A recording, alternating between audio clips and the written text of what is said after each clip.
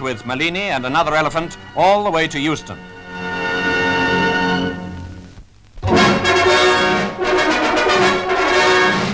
At Southampton, ex-world middleweight champion Randolph Turpin was naturally questioned by the press. Tell me, when are you going back to have another crack at him?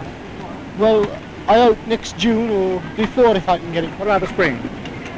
I don't mind, I'll go in the winter as well if I have to. Randy, I hear there's a rumour you're going on the stage. What's it all about?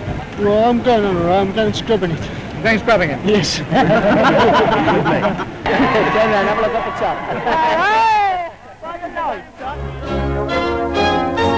Mr. Shinwell, another Queen Mary passenger, was confident about the election. We're going into the fight full steam ahead, and we're going to win.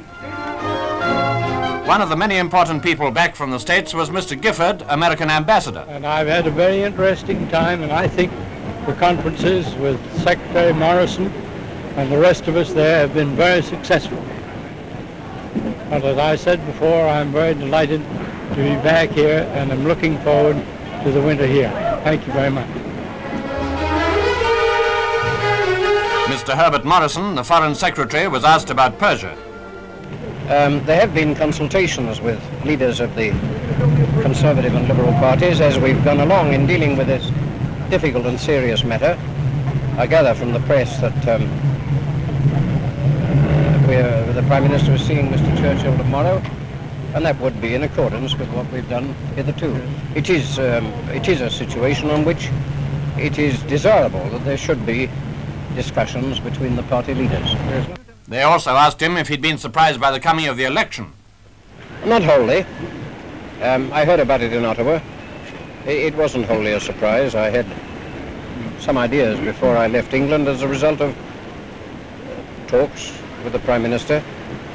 Um, And the, in the meantime, I was helped on the road by confident prophecies by various um, journalistic friends for whose help uh, I was and remain eternally grateful. Later, at number 10 Downing Street, Mr. Morrison attended a meeting of the Cabinet.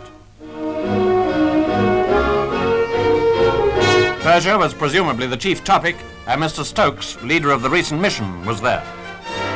The Minister of Defence was present, of course. So was the Chancellor of the Exchequer.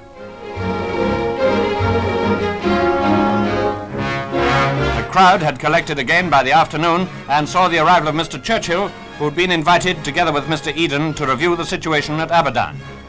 The news from Persia at this time was very grave indeed. It certainly was a matter for discussion with the leader of the opposition and his deputy.